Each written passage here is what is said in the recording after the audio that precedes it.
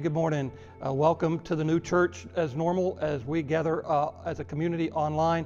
We're excited to start with you today a, a series of talks, teachings, whatever you want to call them, for the next few weeks. As we're going to take a look at some of the greatest songs ever written about trust. We're just calling them songs of trust in a season of chaos.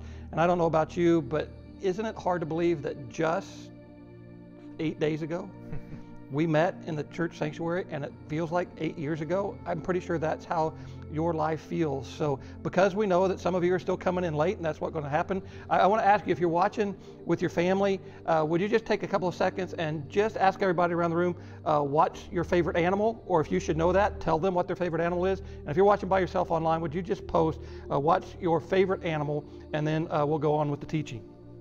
Pastor Tim, what's your favorite animal? Uh, the beluga whale. Ooh, nice. And you? Probably a monkey. Monkey? well, we actually even uh, asked our daughters, and so uh, they gave us some answers. And so we're going to let you have a chance just to uh, look at their really short answers, what our daughters' favorite animals were or are. This is my favorite animal. Say hi, Dad. Hi, Dad. Lydia, what's your favorite kind of animal? My favorite animals are my niece and nephew dogs. Our favorite animal is our dog Onyx. What's your favorite animal? Penguin, cows, and mooses. I'm pretty sure my guess is going to be that nobody either put on our social media sites or in your room uh, answered sheep. Because, you know, sheep, although they're cute and adorable, uh, I think we all know that they're nothing but a walking appetizer. They can't defend themselves, they can't take care of themselves. But in the greatest song of trust that was ever recorded, Psalm 23, David paints a picture of a shepherd and a sheep, and it's about a relationship. And so today, as we're going through a confusing time and we don't know what's going to happen three minutes from now, let alone three days from now, and what the conditions in our country, our state, or our city are going to be, I want us to just zero in on this teaching from Psalm 23, this great song. And I want us to see four locations, four locations that God promises to take us. And with each location, there's a desired and expected response. And so I'm going to talk about the location, I'm going to talk about the expected response, and then Pastor uh, Jed's just going to give you some real practical things that you can start doing as a family because I think God's going to lead us at this time to these four locations. And so uh, this is a song written by a, uh, we think he's a king, King David, but but before he was a king, he was a shepherd boy, and he knew what it was like to be a shepherd, and he knew what it was like to be a shepherd in the world where he lived. And so the song just starts this way Psalm uh, 23, verses 1 through 3. The Lord is my shepherd, I lack nothing. He makes me lie down in green pastures, He leads me beside quiet waters, He refreshes my soul. Location number one is simply the pasture. It's simply the pasture. And this is an amazing place because look what it says that when I'm in the pasture, I lack nothing. Simply means all my needs are met. Doesn't that sound great to be with God in a place that He wants to lead us where all our needs are met? He, he takes us to these green pastures. Now, I don't know a whole lot about sheep. I'm not a shepherd nor the son of a shepherd, but I, I've done some research, and one of the books I've read is a shepherd look at a shepherd's look at Psalm 23. And in that book, this shepherd says that there are only two times that he knows that sheep ever lie down. And the first one is when they're completely full and satisfied, and the second one is when they're totally secure. How amazing is that? That God's going to take us to a place, in a place of uncertainty, in a time of chaos, in a time of confusion, to a place where we are absolutely satisfied, where we lack nothing, and we feel confident and we are secure. And I don't know about you, but I just want to know how do I get to hang out there? How do I find that place? Well, David says, The Lord is my shepherd. And so I'm sorry to tell you, the implication is that you and I, we're nothing but sheep. Hmm. And the sheep can't find their own way to the green pasture. The sheep have to be led. So, to put it bluntly, you want to find the green pasture, you're not going to find it on your own. You're going to have to let the Lord lead you. So, what's the required response in this pasture? Very simply, it's humility. To get to the green pasture, we have to humble ourselves and say, okay, God, we're in a time of chaos and confusion. I need you to lead me. I will submit to your leadership. I'll let you take me to the place that only you know. God, take me to the green pasture. Here's a picture of what you have in your mind of the green pasture. So take a look at this. But as you're looking at that, I hate to disappoint you. That's a green pasture in Scotland, but that's what we have in mind as a green pasture. Here's the reality Here's the wilderness that David led his sheep through. It's the Judean wilderness right outside of Bethlehem. And only a shepherd who knows the lay of the land knows in this desert, in this darkness, where the green pasture is. And so, out of humility, we have to follow. Pastor Wooldridge is going to talk to you about a few ways we can humble ourselves in front of God right now in this season. Yeah, I love that first opening uh, line there. Don't miss that. It says, The Lord is my shepherd. I have all that I need. When we think about sheep, sheep are defenseless. Uh, they can't fight off the wolves or uh, their enemies, their attackers. Uh, in fact, their best attribute is they're natural warriors. Does that sound familiar to you? Hmm. In fact, when they're led to a stream that is, that is fast flowing, uh, they can, their wool can easily get wet and they can easily drown. And so when it says that he leads them to peaceful streams, the shepherd is leading them to a place, even, even where they could drown, it is a peaceful place. It's not a rushing water, it's a peaceful stream, and they can rest in that. Are you allowing God to lead you to rest in this season? We, we look at this and we see that uh, their natural reaction is to be afraid. How are you, how are you shifting your focus from, from fear and worry in this season to a shepherd who can lead you into rest? And so we just want to encourage you. It starts very simply. You're not going to find the green pasture, the still waters by yourself. You have to humble yourself. And after we humble ourselves, He takes us to another place. The second location, He says, He guides me along right paths for His namesake. The second place He takes us, He takes us to the path. What in the world is the path? If you understand the scriptures and you dig into it, the, the Hebrews had this constant understanding that, that the path was the, the Word of God. Look with me at Psalm 119, 35. It says, Direct me in the path of your commands, for there I find delight. Direct me in the path of your commands. So the understanding here in this, in this shepherd imagery that they're going to walk the path that the shepherd lays out for them, the path that our shepherd has laid out for us is going to be found in the Word of God. And so we look back on uh, this 2020 season, these 10, 11, 12 weeks of 2020 that we've been through, and, and we look back with hindsight, and it's no mistake that in February that God had us getting intentional about getting through His Word so that we would be ready because it's in His Word. That's the path we need to be on. So, what's the required response if we're on the path? The required response, very simply, is obedience. What is, how are you spending time in God's Word and what's He telling you to do? And how are you taking it in? How are you letting God's Word in and letting it root and letting it grow? Because here's the deal I don't know about you, but especially in times like this, there are times I just don't want to do what God's Word says. There are times I want to take it in my own control and take it, take it and do it my own way. In fact, God knows that, and that's why Isaiah the prophet says this in Isaiah chapter 53. He says, We all, like sheep, have gone astray. We've each turned and gone our own way.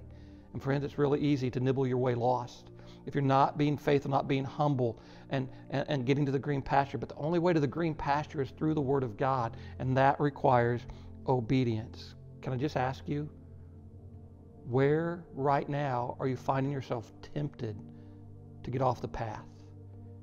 Maybe you have more access to social media now because you have more time, you're working from home, and all those kind of things. And, and you just think it's going to be an innocent reconnection with somebody from your past, but it's going to lead to something, and you, and you know that. Maybe that's even what you're wanting. Or, or maybe you just find yourself with too much time on your hands, and maybe you're worrying too much about finances or any kinds of things. I don't know, but just where are you tempted to nibble your way lost?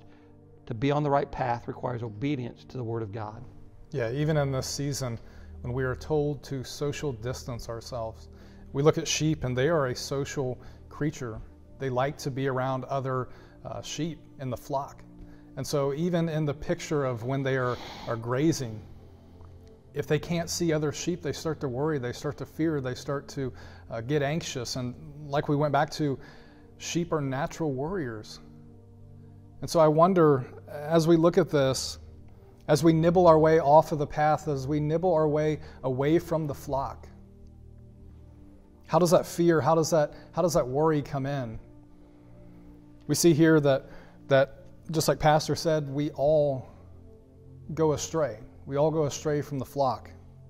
One of the ways that we want to stay connected at Miami Valley Church is getting intentional about being in a group. We've been talking about it for years now about getting in a group setting, being surrounded by a flock, a, a, a group of people around you that can hold you accountable, that can pray for you, that can, that can serve one another, that can be right there when life is difficult because we know there are going to be times in life where it just seems like chaos.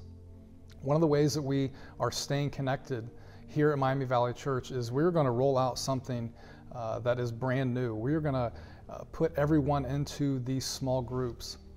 Maybe it's uh, eight, ten people, whatever it is we're going to get intentional about, about reaching out to each other weekly. Hey, how are you doing? Are, are you doing okay? Do you have any needs that can be met? How can we pray for you? I think that, that staying together is going to make us stronger together because we are better together. And so we're going to encourage you uh, to have a chance to pick your group, but just know we are not encouraging. In fact, we cannot endorse any small groups that get together. You cannot do that physically. You have to find ways to do that with technology. And that's why we're just going to assign people so that you're checked up on and so that you're taken care of. God's word tells us, I don't know if you know this, that one of the pictures of the pastor in the church is a shepherd. And God tells us we have to know the condition of our flock. And the way that we're going to do that is having you uh, in a group. So I have to humble myself to get to the green pasture. I have to obey to stay on the path. But the third location is this He says, Even though I walk through the darkest valley, I will fear no evil, for you are with me. Your rod and their staff, they comfort me. The valley. The valley in the land of Israel and the Judean wilderness is dark and it's dangerous and it's, it's windy and, and you might get attacked just as you're around the corner. And so it's important for the sheep to be able to stay close. It's those times when you're vulnerable. Have you ever felt that the situation was dark and scary because you don't know what's right around the next corner? Hmm. You don't know what's waiting for you? What, what's, what's interesting here is, is the shepherd says, uh, this says, Your rod and your staff, they comfort me. It's, it's two implements. Here's a picture of a, of a rod, and and it looks like kind of what we'd call a billy club. I, would never seen this before until I was really digging through this. And, and here's, the, here's the picture of the, the shepherd's staff. What I need you to see is that the shepherd holds a rod in one hand, beating off the enemy that's trying to defeat you, and a staff in the other hand, pulling you as close to his, his chest and his bosom as he can get you. What an amazing picture. Your rod and your staff, they come because he's fighting off the enemy, and he's holding me close. And so, in this season, when we don't know everything there is anywhere close to this virus, we don't know what's around the next corner, and we don't know what's going to be required of us, I just want you to know the Lord is your shepherd. And in this dark valley, what's the response here? The response here says, I will fear no evil. Does that just mean buck up and get through it and find out all the information you can? No, it doesn't have anything to do with that. It says, I will fear no evil because you are with me. It's about God's presence. And this requires, the required response in the valley is trust that the shepherd's got the rod to beat off the enemy, he's got the staff to hold you close, he's got your best interest in mind, and he's going to protect you. And that is all about the relationship. And how do you develop that relationship in the midst of the valley? That's good. Uh, the verse that God has put on our hearts this decade is trust the Lord and do good. If we go back to the illustration of the sheep and the shepherd, even when you're going through that valley and uh, the shepherd might just be around the corner and the sheep loses sight of the shepherd, they can still be comforted by his voice. Even when they hear his voice, but they cannot see him, they are comforted. They have peace knowing that he is right there with them. If we lose his voice in our lives, where do you turn to? I think it goes back to, to spending time in his word, knowing his voice, building that relationship. That's where trust happens, is knowing him spending time with Him. And one of the ways that we want to do that is continuing praying together as a church. Uh, every Tuesday night in this building, we prayed together. And we want to continue that because if we're not spending time communicating with Him, talking to Him, but also listening to Him, listening to His voice and what He wants to speak to us, that is how we can apply this to our lives. And we're going to continue to pray together, not in this building, but we're going to invite you onto like a Skype call or a Zoom call so we can see each other's eyeballs and we can just pray together. And Dick Fultz is going to uh, be sharing with us some devotional thoughts. He's been leading that, and so we're just excited to continue Tuesday night. Be on the lookout for more of that information. So he tell you he wants to take me to the green pasture. It's going to take me on a path obedience to his word. It's going to take me on a path of trust through the valley. But now the fourth location, the imagery shifts it says this in verse 5 You prepare a table before me in the presence of my enemies. You anoint my head with oil. My cup overflows. It shifts from this valley, it shifts to a house, it shifts to a table. a place that's prepared for us. It's, it's talking about eternity with God, and He's prepared everything that we need. It's, it's, it's abundant hospitality. He anoints my head with oil. It's like I've been out, and I, He wants to make sure I, am refreshed when I get to the table. Uh, my cup overflows. Have you ever been to one of those fancy restaurants where you, you can't outdrink the server? That you got a water glass and they fill it up after you take a drink, or a wine glass and they fill it up. You just can't empty it. That's the picture here. It's an invitation. So, what's the response that's required here? What's the response? It's very simple. Surely goodness and love will follow me all the days of my life, and I will dwell in the house of the Lord forever. The response, very simply, is stay. Yeah. Don't run away. Trust God's going to take you where you want to go. And in this season, especially when there's fear and all of these kind of things, before we make it to the green pasture, before we get it to the table, we want to run away. And God simply says, stick around, stay close, don't run away. Yeah, He says He has prepared a place for us. Even when our enemies surround us, even when our world is in pure chaos, He says, hey, come stay in my house, come live with me, let me live in you. And I just think it's a beautiful picture of the shepherd that we have, the, the perfect shepherd that we have, the comforter who wants to give you peace, who wants to lead you, who wants to take you to green pastures, who is going to lead you on the right path, who's going to lead you through the valley, and who is going to invite you into his home. And so the reality is, we come to the end of this beautiful song of trust in this season of chaos, is he wants to take you to the green pasture and requires humility. God, lead me. He wants to lead you on the path that requires obedience to His word. He wants to lead you through the valley that requires trusting Him to protect and provide. And He ultimately wants to get you to His table. But you have to stay the course. And some of you, you're already running away. But I want you to see this one last thing. It says, Surely goodness and mercy will pursue me, follow me. It's a, it's a hunter's word. It's a hunter who hunts down his prey. God is on pursuit of you. Even if you run, He's going to follow you with His goodness and mercy. So, in this season, where do you need to focus today? Do you just need to start and humble yourself? Do you need to get in God's Word and obey? Do you need to develop that relationship to trust in His Word and through prayer? Do you need to just stay the course? Friends, that's God's call in our life. Father, we thank you for the chance we've had to be together this morning. Help us in this changing world of chaos to know what to do. Father, protect, provide, we come to you, we humble ourselves. We want you to lead us. We want to be in your word so that we can obey. We want to pray and talk to you so that we can have that trust. And God, we look forward to the day when we're at your table and goodness and mercy has caught us. May we stay the course. In Jesus' name. Hey, be on the lookout on our social media sites for information of the things we've talked about, how we can study the Bible together, how we can pray together, how you can be in a group and connect with God's people. We love you. We look forward to helping you take the next step on your spiritual journey. God bless you. We'll see you this week. Hey, thanks for watching this video. If you guys have any questions, you can email them to nextsteps at miamivalley.org. Make sure you subscribe and like and share this video on Facebook and Instagram. You can follow the church at My Miami Valley. If you want any more truth bombs from Jed and Tim, you can check out the video archive on our YouTube channel. And just remember, the church never closes. And wash your hands, people.